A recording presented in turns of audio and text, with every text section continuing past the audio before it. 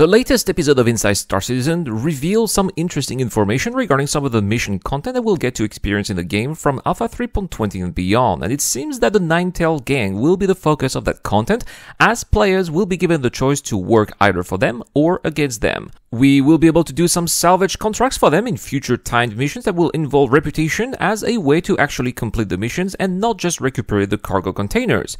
We will be able to recuperate sensitive objects from bunkers and choose to confiscate them and bring them to Security Post Kareah or deliver them to the NineTails. Of course, these missions will include first person combat, and the longer we'll stay at the bunker, the more dangerous the enemy waves will be. Last but not least, there will be heist missions in which players will be able to go to a cargo barge on Crusader to steal containers from there. Apparently, more info will be given to us when the roadmap will be updated next Wednesday, so make sure to subscribe to the channel to be informed about the latest Star Citizen developments.